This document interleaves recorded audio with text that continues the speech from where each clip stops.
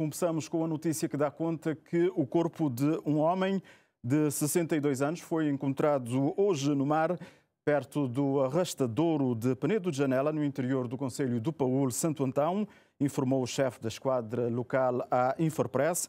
Segundo Alfredo Lopes, o alerta foi dado por um cidadão que avistou o corpo no mar por volta das 7 horas, tendo a polícia e outras autoridades deslocado ao local. O corpo da vítima, conforme acrescentou a mesma fonte, foi levantado às 10 horas e transportado para a Câmara Ardente do Hospital João Moraes para autópsia. Não descartamos nenhuma possibilidade e, neste sentimento, em comum acordo com a Delegacia de Saúde do Paolo e do Ministério Público, iremos aguardar o resultado da autópsia, concretizou. É uma notícia para conferirmos com mais detalhes em próximos informativos da TCV.